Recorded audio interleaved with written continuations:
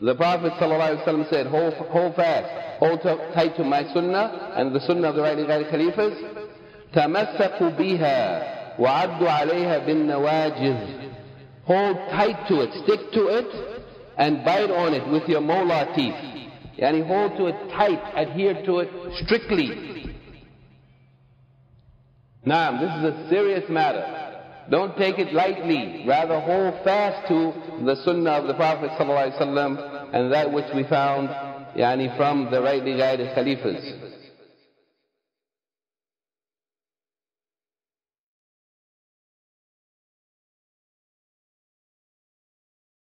And whoever doesn't really know what is a Salafiyah, that might include Muslims who identify themselves as being Salafi, as well as the larger majority of Muslims who have no clue what is Salafiyah and who think that it is something evil.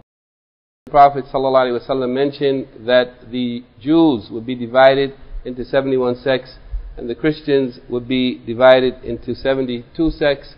And he said that my ummah, yani will in the future be divided into 73 sects, and all of them would be in the fire except one.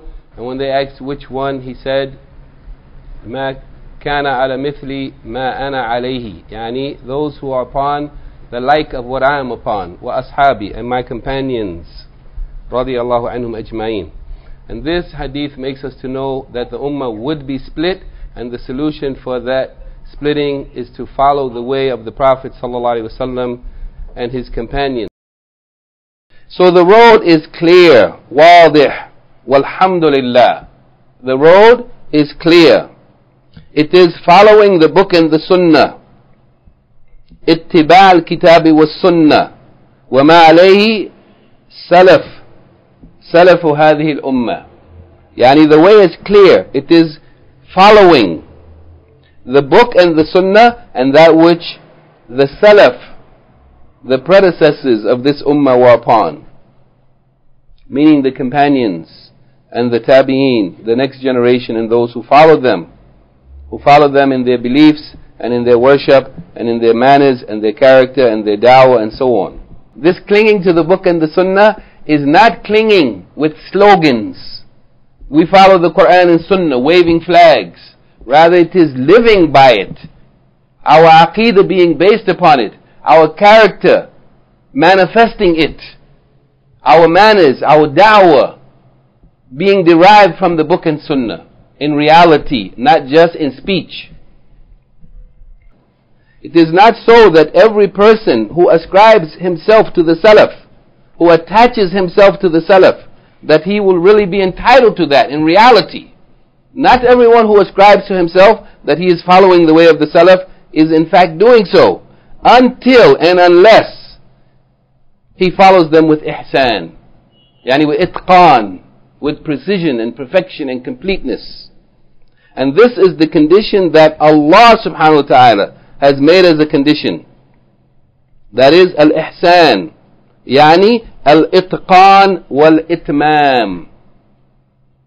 That, he, that they follow the salaf, the sahaba, the muhajirin and the ansar, yani with, yani perfection and with completeness and precision. So what is what we are concerned here, or what is considered, the point is not the claim to Salafiyah, but rather the reality of Salafiyah. Knowing the manhaj of the Salaf and studying the manhaj of the Salaf in terms of the aqidah, their beliefs, and their akhlaq, their character and manners, and their amal, their deeds, their worship, and in all the fields, in all aspects of the manhaj of the Salaf. Not just on the tongue, espousing, waving flags and banners, but rather we have to actually follow this.